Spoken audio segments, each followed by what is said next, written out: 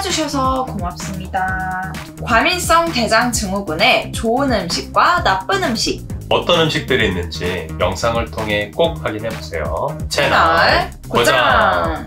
과민성 대장 증후군이란 식사를 하거나 스트레스를 받은 후 복통과 복부 팽만감과 같은 불편한 소화기 증상이 지속되고 설사 혹은 변비 등의 배변 장애가 오는 만성적인 질환입니다.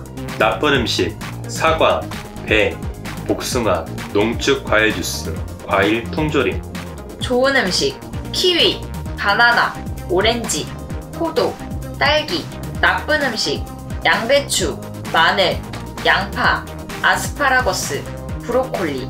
좋은 음식, 오이, 양상추, 호박, 당근, 가지.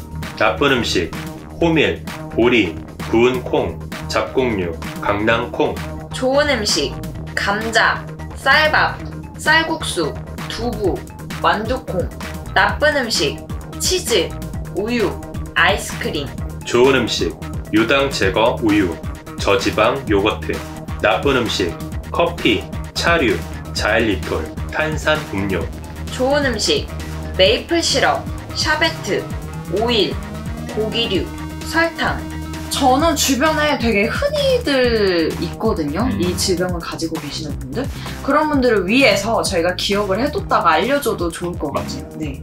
다음 시간에도 여러분들 건강 생각하는 정보 가지고 찾아오겠습니다. 더 많은 영상을 계속 보고 싶다면 구독, 좋아요, 알람 꼭 잊지 마세요. 지금까지 시청해주셔서 고맙습니다.